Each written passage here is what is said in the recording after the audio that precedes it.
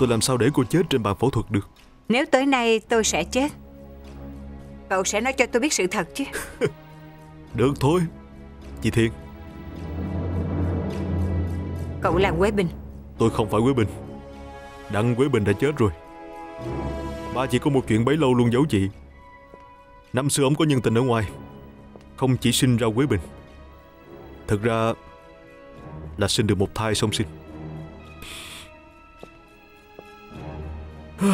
Nhưng má chỉ đón một đứa vào cung. Đứa còn lại thì bị đuổi đi. Luôn cả họ cũng phải đổi. Suốt đời suốt kiếp cũng không được làm người họ đặng.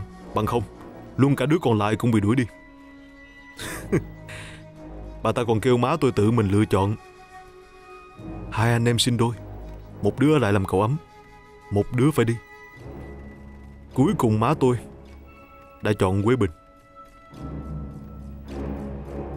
Cậu là đứa còn lại sao? Sau khi Quế Bình lớn lên, Biết được chuyện này. Nhưng má chị cảnh cáo nó, Không được nói với bất cứ ai. Trong đó có chị. Quế Bình rất tốt với chúng tôi.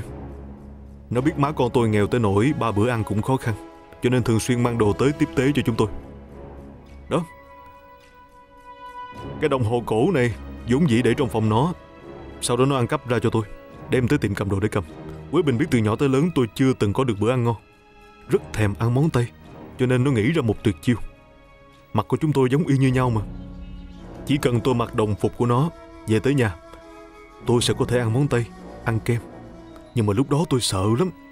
Tôi không dám, Nhưng sau đó nghe nó nói miếng bít tết ngon cỡ nào, Món kem ngon tới cỡ nào.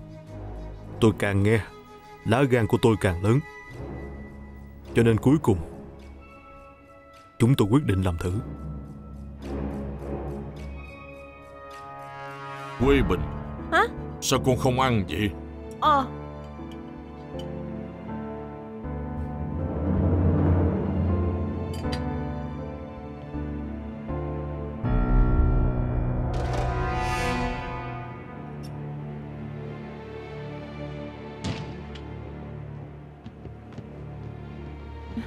Đặng tiên sinh, đặng phu nhân Chào hai vị. Cô tới đây làm gì hả? Vĩnh Thọ à Thật ra cô biết thật hay giả bộ không biết vậy Đứa này không phải là Quế Bình Nó là đứa con quan còn lại. Trên tay của Quế Bình có nốt ruồi rất lớn.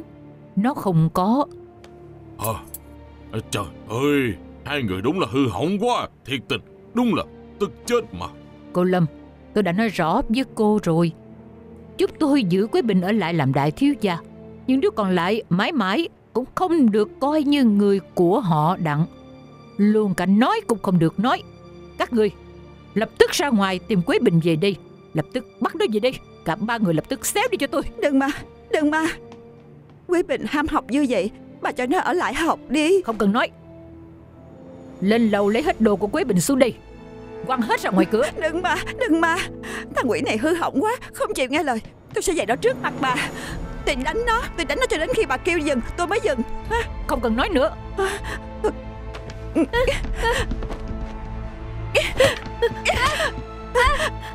Ăn bít tết hả Đừng đánh bít tết nè Ăn bít tết Đừng đánh nữa Đau quá Ăn bít tết Ăn bít tết Đừng đánh Trời Đừng đánh nữa mà Nè Đừng có đánh nữa Được không Nè Các người đứng yên ở đây làm gì Lập tức lôi hành lý xuống đây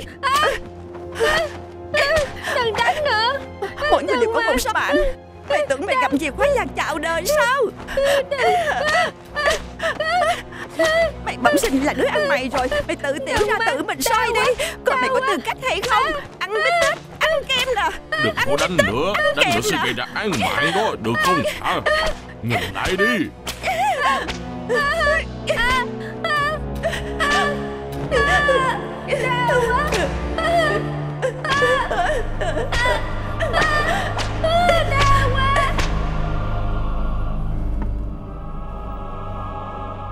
Má tôi nói rất đúng. Mỗi một người khi chào đời đã có số mạng. Quế Bình ngậm chìa khóa vàng chào đời. Tôi bẩm sinh là một thằng ăn mày. Nhưng ngậm chìa khóa vàng chào đời Cũng rất thê thảm. Bởi vì nó có người cha và người mẹ khốn nạn Giống như hai vợ chồng Đặng Vĩnh Thọ với lại chị. Người chị khốn kiếp này.